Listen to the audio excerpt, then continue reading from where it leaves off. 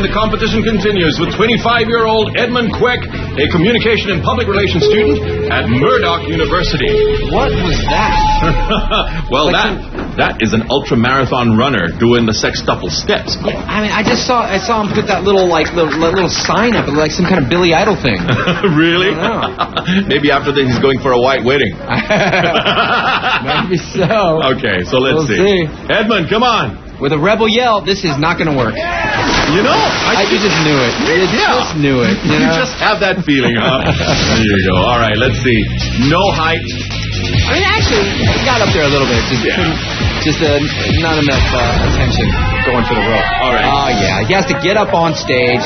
Then. Oh, yeah. What's going on, man? That's gotta hurt, dude. That's Muhammad Firdaus is his name. He's 24 years old, and he's a Singapore Polytechnic student. He's showing off. He is. I bet you our producers pumped him up. Said, "Hey, man, why don't you go on stage? Yeah. Why don't you take it off on stage? Why don't you?"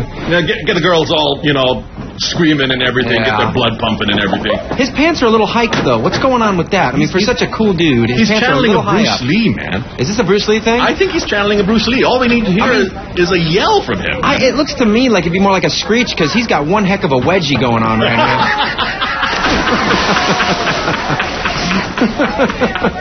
I think the wedgie did him in.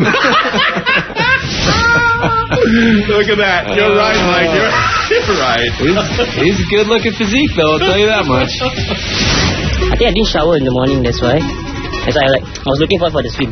I bought three plastic bags for that.